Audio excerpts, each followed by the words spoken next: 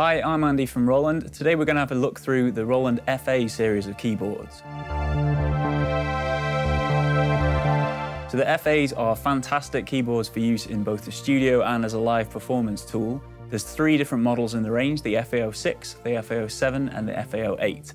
Aside from the key configuration, they're all internally the same, so today we're going to focus on the FA08, but then we might talk about the different key options that are available at the end.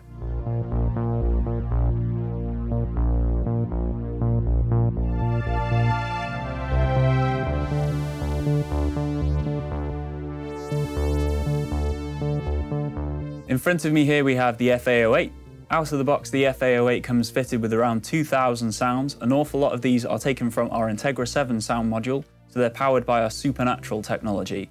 What that is is a combination of sampling and modeling to sort of fill in the gaps that sampling can't cover. So it means that you get really, really realistic sounds, particularly with acoustic instruments and great synthesizer sounds as well. So we're going to have a quick look at a few examples.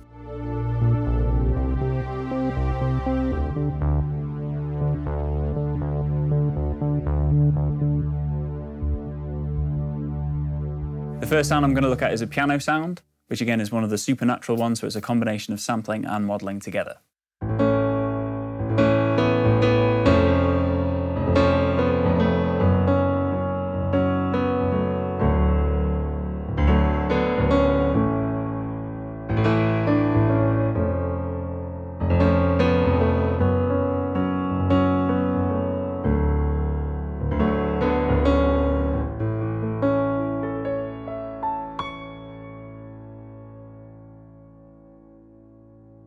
We also have some great electric pianos in there. So this is one that's based on a Fender Rhodes.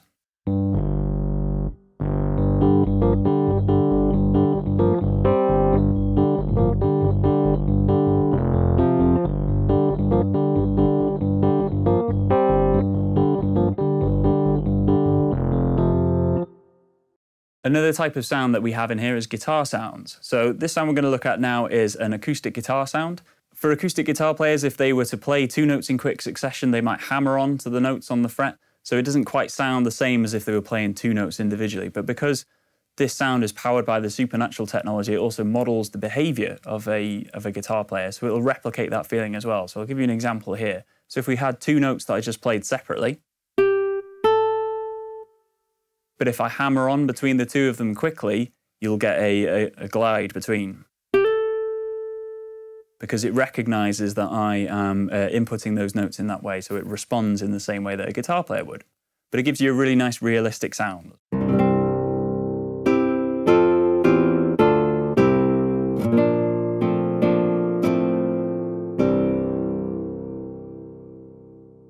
We also have some great string sounds into it. Again, because it's using that supernatural technology, it's not just a sample of a string section, but it's also modeling the string sound. So you have a really good sort of bowing technique in there as well. We'll have a quick example of that one.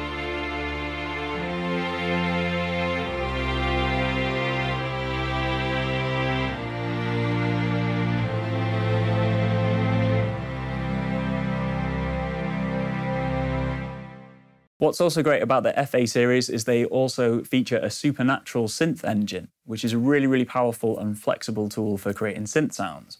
Um, you are able to layer up to three oscillators together and completely detune, filter each of them, and apply envelopes to your heart's desires, which is great. You can give you some really, really realistic uh, sounds as well. So this is a synth strings patch that we can look at.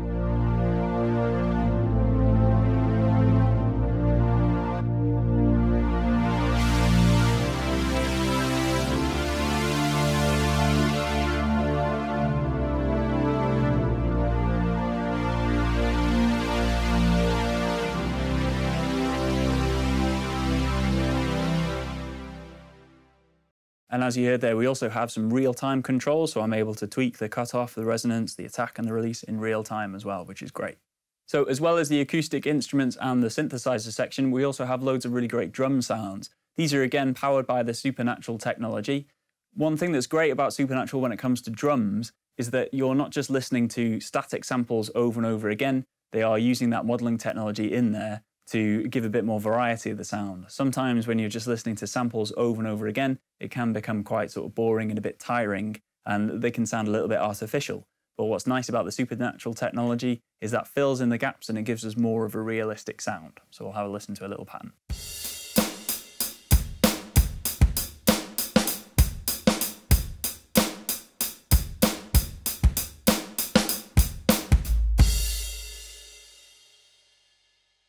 So we can play the sounds ourselves. Or for each of the sounds, there's also a preview button. So if you wanted to hear what a sound sounds like without playing it yourself, you can just hit the preview button. I'll do that for the drums here.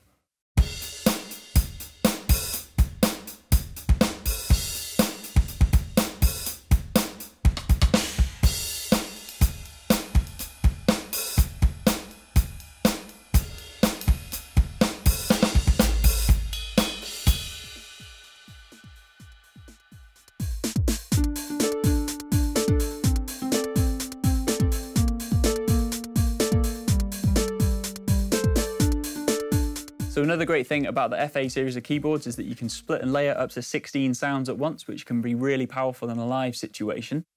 Uh, and it's really, really easy and quick to do this as well. If you push both buttons together, it selects what we call a studio set, which is a collection of up to 16 sounds that you can use together. So on the screen, you can see now we're in our studio set. We have a few different sounds kind of already selected, but we'll just show you how to make a quick layer. So on the top here, you can see I've got a, a, a, grand piano and also this metal pad. And both of these are being used by the keyboard because we have got a yellow switch next to them, which we've ticked. And that means both sounds are being used at once. Uh, below each one, we can specify the key range, and I've already set it up so that they finish at C4. So at the moment, if I play below middle C, we don't get anything. If I wanted to add a third sound to this, so I go to my third sound, I tick the little yellow box, so that means all three keyboards and uh, all three sounds, sorry, are being controlled by the keyboard. I go over to the sound, and if I want to make this a bass, I uh, can press bass. If I want to see them as a list, I press enter. I've got uh, some acoustic basses in here. I could go over to an electric bass, so we'll choose that first one that says finger bass one. Press enter. That sound is now loaded. If I wanted to make sure that this doesn't play though in the right hand side, I need to specify the key range that works on. But again, that's really easy to do.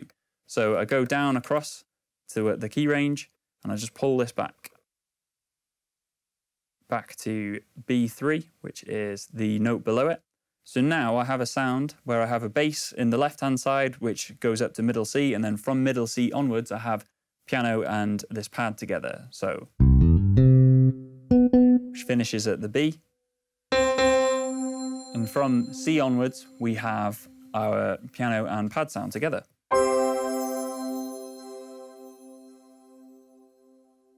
And you can obviously expand upon, uh, expand upon this to have about 16 sounds together and then save these as your user sounds or user studio sets even, so that in a live situation you can recall them quickly and cover a lot of ground without changing patches.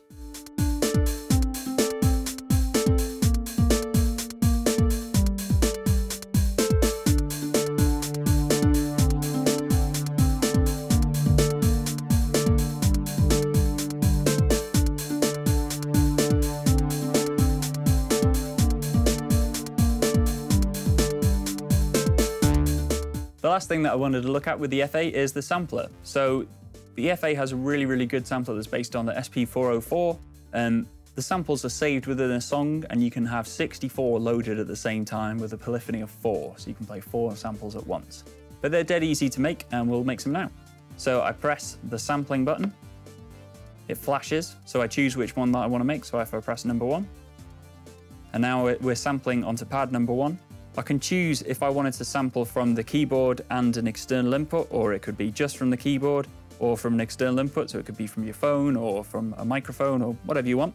But I will just go from the keyboard and we're just going to sample some of the inbuilt drums just quickly. If I press auto trigger, it'll start sampling as soon as I play a key. So I'm just going to hit a kick drum.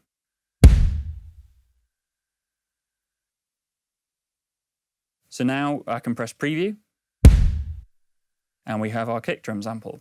I'm also just going to take off a the gate because this cuts off the sound if you're not holding the pad down, which I don't want, so I'm just going to turn that off. And that's all it is to make a sample. So we're just going to quickly do that again for a snare. So pad number two, auto trigger again, hit snare. press stop. Can preview that again. Again, I want to make sure that the gate is off so that it allows the sample to ring out. And then we'll do one last one of a hi-hat. So number three, auto trigger. And lastly, take the gate off. So now I have my three samples. So you can see that we have samples saved on it because they're lighting up in red. And now I can play these, uh, I could play these in the middle of a performance if I wanted to. But because you can record literally anything, they could be sound effects, they could be a little bit of a sample of a record or anything you want to do just as a way of enhancing your performance. And what's also really cool is you can sequence these within the sequencer. So in your song, again, if you have a little vocal a cappella or something that you want to bring in, you can sample that and trigger it in the track. So that's really, really cool as well.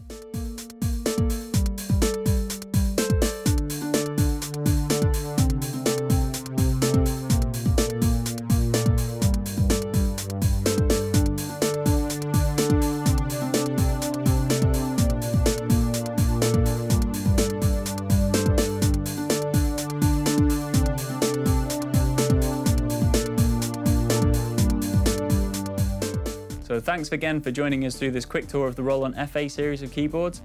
As I mentioned earlier on, there are three models in the series, the FA06, the FA07 and the FA08. All three keyboards feature the same great sound engine, the same sequencer, the same sampler. It's just the key, uh, key configuration that differs between the three different models. Thanks very much for watching. I'll see you again next time.